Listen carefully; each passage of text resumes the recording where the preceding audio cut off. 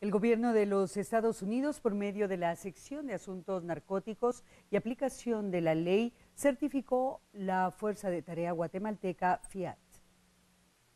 La Fuerza de Tarea de Interdicción Aérea, Antinarcótica y Antiterrorista FIAT fue certificada por la sección de asuntos narcóticos y aplicación de la ley la evaluación abarcó las acciones operativas, administrativas, armamentos y controles de calidad, permitiendo que agencias como la DEA, CIA, FBI y otros entes desarrollen operativos conjuntos en el combate al crimen organizado y terrorismo. Donald Campbell, subdirector de la Oficina de Aviación del Departamento de Estado de los Estados Unidos, explicó que realizaron una auditoría para evaluar el sistema con el que trabajan los elementos que integran dicha fuerza.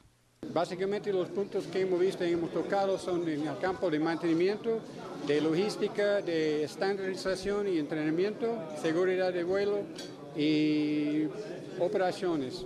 Entonces en el campo de operaciones, logística, bueno, en, el campo de operaciones, estandarización, ah, mantenimiento, hemos sido muy contentos.